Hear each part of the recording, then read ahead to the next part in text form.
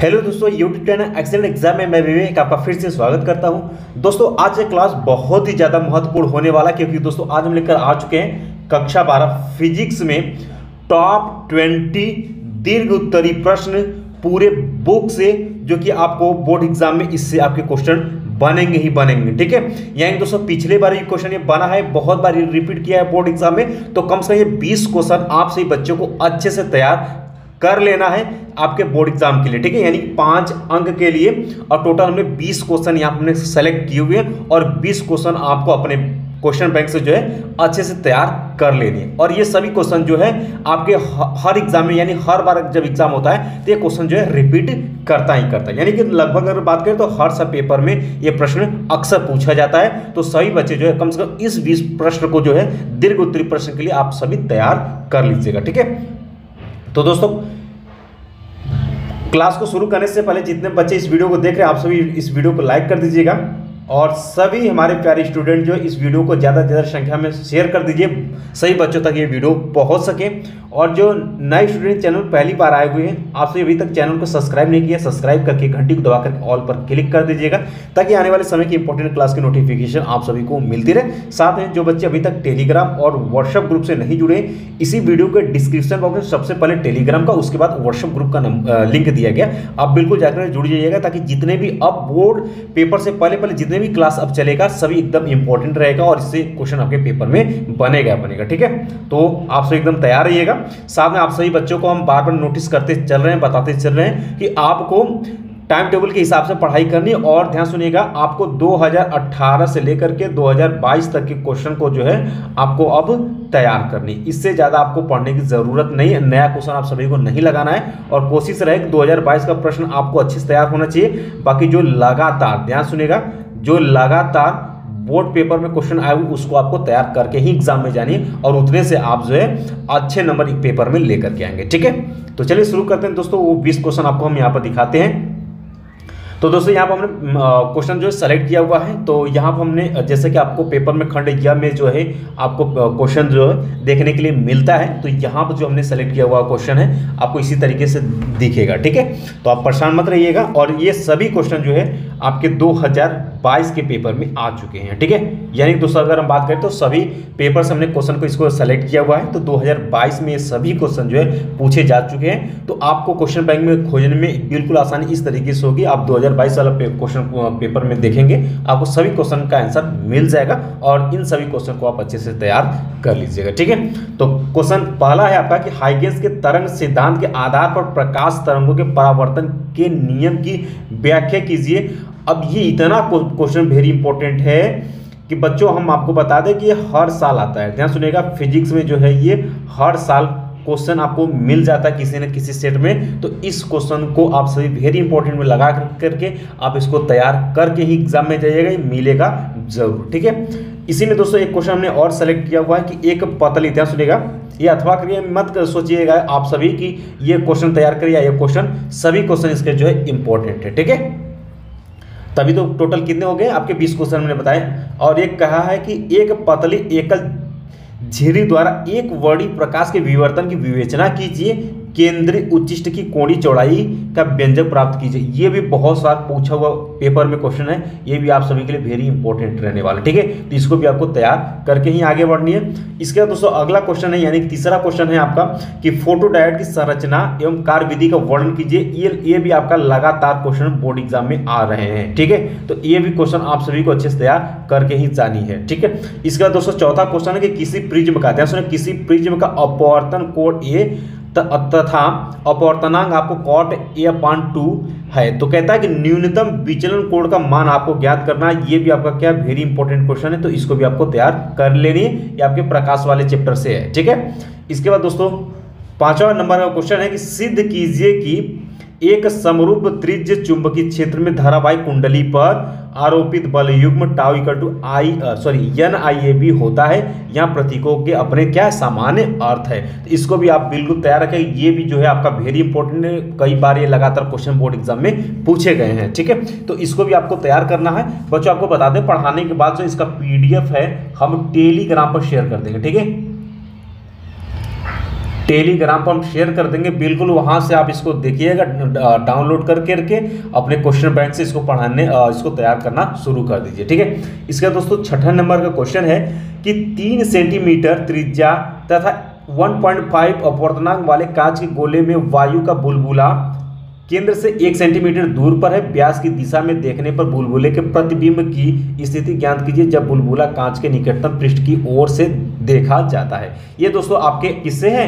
आंकिक प्रश्न से है, ठीक है? ये क्या आपका आंकिक प्रश्न से पाँच अंक है तो इसको भी आप तैयार करिएगा। अगर सेम क्वेश्चन पूछेगा तो आप बिल्कुल कम समय में पाँच में पाँच अंक भी प्राप्त कर सकते हैं, अगर इस अंकी को सही करते हैं तब, ठीक है? चलिए, अगले क्वेश्चन की तरफ़ बढ़ लेते हैं। अगला क्वेश्चन है, यानी कि दोस्तों, अभी अगर ये बात करें तो यहाँ पर आप देख पाए, ये आठ, ये सात नंबर का क्वेश्चन है, सातवां क्वेश्चन है कि अन्योन प्रेरण से क्या अभिप्राय है? अन्योन प्रेरण गुणांक की परिभाषा दीजिए। दो समतल कुंडलियों के अन्योन प्रेरकत्व का सूत्र भी आपको क्या करना है? स्थापित यहाँ पर करनी है। ठीक है? तो इसको भी आपको क्या है? वेरी इंपॉर्टेंट है। ये भी आपका लगातार क्वेश्चन बोर्ड एग्ज़ाम में आए हुए हैं तो इसको भी आप तैयार करिएगा। इसका दोस्तों, अगला क्वेश्चन है कि नाभिकीय विखंडन एवं नाभिकीय सलयन से आप क्या समझते उदाहरणों सहित व्याख्या कीजिए। बच्चों, ये बहुत ही सिंपल सा, ये सिर्फ़ क्या है? आपका थ्योरी है। कहानी की तरह आपको ये याद करनी है। ये मोस्ट इंपॉर्टेंट है। ठीक है तो इसको भी आपको जो है तैयार करनी, ये भी आपका क्या है बोर्ड एग्ज़ाम में लगातार पूछे गए क्वेश्चन है, ठीक है? तो इसको भी आपको तैयार कर लेनी है। यानी कि आज का सेशन बहुत ही ज़्यादा इंपॉर्टेंट रहने वाला है, क्योंकि ये क्वेश्चन वही है, इसको कम से कम आप सभी पाँच अंक के लिए तैयार करके जाइएगा, आपका पाँच अंक का क्वेश्चन कंप्लीट हो जाएगा, ठीक है? इसके बाद दोस्तों आगे बढ़ लेते हैं, ये हमने दूसरे सेट से क्वेश्चन सेलेक्ट किया हुआ है तो यहाँ पर बात करेंगे तो एक क्वेश्चन नंबर से आप मत जाइएगा, ठीक है? क्वेश्चन हमने जो जो हम आपको बताएँ, उस पर आप लोग ध्यान रखिएगा। अगला क्वेश्चन है कि हाइगेंस के द्वितीय तरीकाओं के सिद्धांत के आधार पर प्रकाश तरंगों के अपवर्तन के नियम की व्याख्या कीजिए। ये भी जो है आपका वेरी वेरी वेरी इंपॉर्टेंट है और ये भी आपका क्या है? लगातार पेपर में आ रहे हैं क्वेश्चन ये क्या है? लगातार आ रहे हैं पेपर में, ठीक है? तो इसको भी आपको क्या कर लेनी है? तैयार करनी है। इसके बाद दोस्तों, अगला क्वेश्चन है कि एक पतली एकल झिर्री द्वारा एक बड़ी प्रकाश के विवर्तन की विवेचना कीजिए। केंद्रीय उच्चिष्ट की कोणी चौड़ाई का व्यंजक आपको प्राप्त करनी, ये भी आपके क्या है, लगातार क्वेश्चन जो है पेपर में आ रहे थे ये भी आपका क्या वेरी इंपॉर्टेंट है। इसके दोस्तों, अगला है कि सौर सेल क्या है, सौर सेल की संरचना एवं कार्यविधि को लिखिए अब ये बहुत ही प्यारा सा क्वेश्चन है, ये बिल्कुल थ्योरी है। कहानी के तौर पर आप बिल्कुल इसको पढ़ेंगे, चीज़ें याद होंगी, आप इसको लिख सकते हैं। नए में बहुत बार ये क्वेश्चन रिपीट किया हुआ है। ठीक है, अगला क्वेश्चन है कि एक समतल उत्तर लेंस का व्यास सिक्स सेंटीमीटर है तथा मोटाई तीन मिलीमीटर है। इस लेंस की फोकस दूरी ज्ञात करना लेंस के पदार्थ में प्रकाश की जो चाल है वो दो गुणे दस घाते आठ मीटर पर सेकेंड। ये बच्चों क्या है आपका? ये आप, आपका क्या है? आंकिक प्रश्न है और ये आपके लाइट से क्वेश्चन लिया गया है। वेरी इंपॉर्टेंट इसको आप पाँच अंक में तैयार कर सकते हैं। अगला क्वेश्चन है कि एक समान वैद्युत क्षेत्र में स्थित वैद्युत ध्रुव पर लगने वाले बल युग्म के आघूर्ण के लिए व्यंजक प्राप्त कीजिए। इसकी सहायता से विद्युत ध्रुव आघूर्ण की परिभाषा भी दीजिए। ये भी आपके क्या है? लगातार क्वेश्चन पूछे गए बोर्ड एग्ज़ाम में वेरी इंपॉर्टेंट है। इसको भी आपको तैयार करनी है। अगला क्वेश्चन है आपका कि दिए गए परिपथ के दिए गए परिपथ के लिए प्रत्येक शाखा में बहने वाली धारा की आपको यहाँ पर गणना करनी है। ये आपका नया में क्वेश्चन लेकिन ये वेरी इंपॉर्टेंट है, आप इसको देख सकते हैं, इसको लगा सकते हैं। इसके दोस्तों अगला क्वेश्चन है कि पीएन संधि वेरी इंपॉर्टेंट पीएन संधि डायट के लिए अग्र दिशिक अभिनत एवं उत्क्रम अभिनत से क्या तात्पर्य है? यह पूर्ण तरंग दिष्टकारी के रूप में कैसे प्रयुक्त होता है? परिपथ आदि बनाकर समझाइए। अब ये बच्चों आपको बता दें कि ये भी क्वेश्चन जो है आपके बोर्ड पेपर में लगातार आते हैं और आ रहे हैं, ठीक है?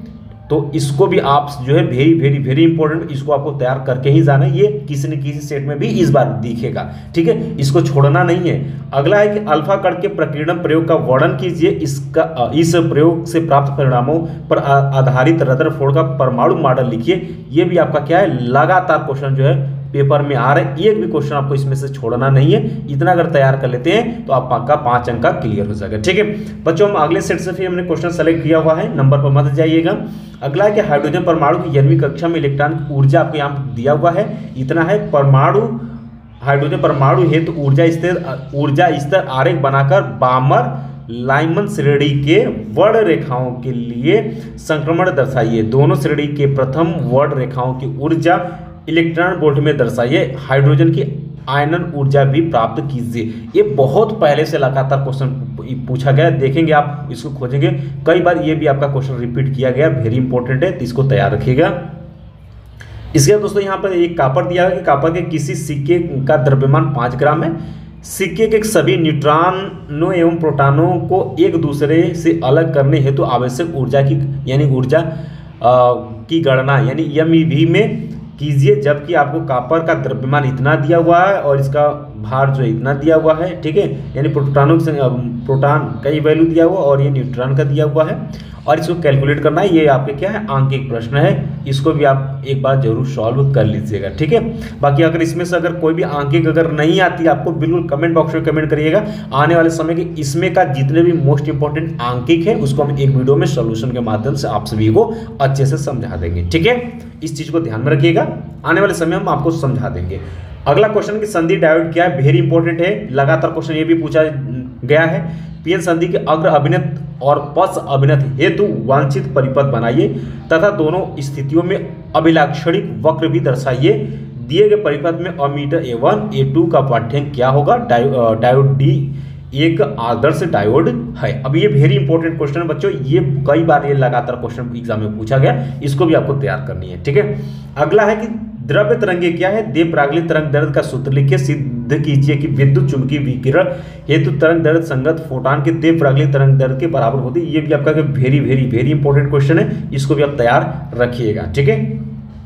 सभी क्वेश्चन एग्ज़ाम में आए हुए क्वेश्चन मोस्ट इंपॉर्टेंट है। अगला क्वेश्चन संपर्क में रखे, दो पतले लेंसों के संयोजन की फोकस दूरी का सूत्र स्थापित कीजिए। और ये ये तो वेरी इंपॉर्टेंट ये बहुत ही प्रचलित क्या है फार्मूला सूत्र है डेरिवेशन करने के लिए। और कई बार भी बोर्ड एग्ज़ाम में पूछा गया, इसको छोड़ना नहीं है। आगे इसी में आंकिक प्रश्न भी रख दिया है कि पाँच डायोप्टर और माइनस दो डायोप्टर क्षमता के दो लेंस संपर्क में रखे।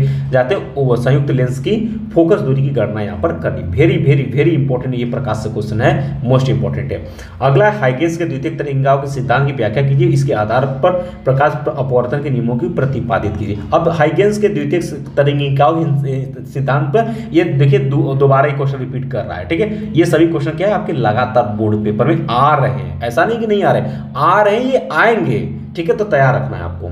इसके बाद अगला क्वेश्चन है कि एक, किसी धारा मापी की सुग्राहिता का अर्थ समझाइए किसी धारा मापी को बोल्ट मीटर में कैसे परिवर्तित करेंगे, समझाइए किसी धारा मापी में एक एम्पियर की धारा पैमाने पर विक्षेप उत्पन्न करती, इसे 10 एम्पियर परास के अमीटर में परिवर्तित करने हेतु वांछित शंट एवं धारामापी के प्रतिरोध के संबंध स्थापित कीजिए। प्रतिरोध में संबंध स्थापित कीजिए। वेरी इंपॉर्टेंट क्वेश्चन इसको भैया आपको तैयार कर लेना है। ये भाई आपका प्रचलित क्वेश्चन ये भी है कि वैद्युत फ्लक्स को परिभाषित कीजिए, सिद्ध कीजिए कि किसी बंद पृष्ठ से निर्गत संपूर्ण वैद्युत फ्लक्स फाइस सतह द्वारा आबद्ध संपूर्ण आवेश क्यू का वन पान एफसाइले नाट गुना होता है। विद्युत क्षेत्र आपको ये दिया इतना है, स्थित क्षेत्रफल है और इतना गुजरने वाले संपूर्ण विद्युत फ्लक्स का मान ज्ञात कीजिए। ये वाला हमने अंकिक शायद करवा चुके हैं आपको छोटे वाले क्वेश्चन में, ठीक है? तो इसमें एक अंकिक और ये आपको सिद्ध करने के लिए very very very important question है। इसको आपको तैयार करना है। ये लगातार क्वेश्चन जो है आपके बोर्ड पेपर में आ रहे हैं। और एक है आपका गॉस के नियम। गॉस के नियम। तो बच्चों, अगर इसमें नहीं सेलेक्ट किया हो नहीं होगा तो गॉस का नियम भी आप सभी अच्छे से तैयार कर लीजिएगा उसका डेरिवेशन वो पूछता ही पूछता है, ठीक है? चलिए, अगले सेट की तरफ़ हमने क्वेश्चन हमने सेलेक्ट किया हुआ कि स्थिर वैद्युतिकी में गॉस की प्रमेय लिखकर सिद्ध कीजिए कि खोखले बेलन के भीतर इतना कुलाम आवेश है, इसके वक्र पृष्ठ से संबंध वैद्युत फ्लक्स, आपको इतना न्यूटन मीटर पर कुलाम दिया मीटर, न्यूटन मीटर स्क्वायर पर कुलाम है। इसके किसी एक समतल से संबंध वैद्युत फ्लक्स का मान होगा। देख सकते हैं, अभी हमने आपके गॉस के नियम का बात किया और यहाँ क्वेश्चन पूछा जा चुका ये कई बार रिपीट किया। यानी आता है लगातार क्वेश्चन जो है, आपसे पूछा गया है। आपसे छोटे से लेकर के बड़े अंक में क्वेश्चन पूछा गया है तो ये वेरी इंपॉर्टेंट है। अगला है कि किसी धातु चालक की वैद्युत धारिता का अर्थ समझाए। किसी समांतर प्लेट संधारित की धारिता के लिए व्यंजक प्राप्त कीजिए, जबकि प्लेटों के बीच आंशिक रूप से पैरा विद्युत भरा हो। ये भी बच्चों आपको बता दें कि आपके ये भी जो है, बहुत बार लगातार क्वेश्चन ये भी आपके बोर्ड पेपर में आए हुए हैं तो ये भी आपका क्या है? वेरी वेरी वेरी इंपॉर्टेंट छोड़ना एक भी क्वेश्चन को नहीं है। अगला, यंग के द्वित झिर्री प्रयोग से प्राप्त दीप्त एवं अदीप्त फ्रिंजों की चौड़ाई के लिए व्यंजक प्राप्त कीजिए। ये ये भी आपका लगातार क्वेश्चन जो है बोर्ड पेपर में आया हुआ है। इसको भी आपको छोड़ना नहीं। सभी क्वेश्चन आज का क्या क्या है? बहुत ही ज़्यादा इंपॉर्टेंट है। आगे दोस्तों वही है कि संपर्क में दो रखे दो पतले लेंस के संयोजन के लिए फोकस दूरी का सूत्र निगमित कीजिए। अभी जस्ट इसके पहले भी क्वेश्चन ये आ चुका है। इसमें एक जो है आंगिक प्रश्न यहाँ पर ऐड किया हुआ है, ठीक है? तो अगर आंकिंग नहीं आता बिल्कुल आने वाले समय इसका हम आंकिक आप सभी को करवा देंगे। अब ये भी क्वेश्चन रिपीट कर रहा है कि पी एन संधि डायोड के अवच्छय परत एवं विभव प्राचर्य पर अग्र अभिनय का क्या प्रभाव पड़ता है? संधि डायोड के उपकरण करके पूर्ण तरंग दिष्टकारी का परिपथ आरेख बनाइए। दिष्टकारी की कार्यविधि का उल्लेख संक्षेप में करिए। ये क्वेश्चन जो है आपके बोर्ड एग्ज़ाम में लगातार आपके किसी न किसी सेट में दिख दिख जाते हैं। इसको तैयार किएगा अब बोहर के परमाणु परमाणु प्रारूप के अभी, अभिगृहितों को लिखिए। इसके आधार पर हाइड्रोजन परमाणु के बोर कक्षा की त्रिज्या के लिए सूत्र निगमित कीजिए। ये भी आपके लगातार पेपर में आए हुए इसको भी आपको छोड़ना नहीं है। अगला क्वेश्चन कि चुंबकीय क्षेत्र में किसी धरवाही कुंडली पर लगने वाले बल आगुण टाउ का यहाँ पर आपको क्या करना है? निगमन करना है, व्यंजक प्राप्त करने। और यहाँ पे एक इसमें आंकिक प्रश्न भी ऐड किया गया। ये भी क्वेश्चन जो है लगातार जो है पेपर में आए हुए हैं। तो इसको भी आपको तैयार रखनी है।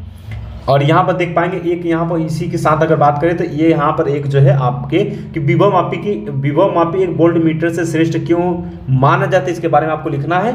एक विभव मापी के तार की लंबाई इतना दिया है, इसमें प्रवाहित धारा इतना है 1.5 वोल्ट की दस दस ओम आंतरिक प्रतिरोध वाले सेल से संतुलन की बिंदु 50 सेंटीमीटर प्राप्त होता है। सेल से एक बोल्ट मीटर जोड़ने पर संतुलन जो है उनचास सेंटीमीटर आ जाता है। व्योमापी के तार का प्रतिरोध बोल्ट मीटर का प्रतिरोध एवं इसके पाठ्यांक की गणना आपको करनी ये बिल्कुल क्या आपका आंकिक प्रश्न है? बीच में आप इसको भी तैयार कर सकते हैं। ठीक है?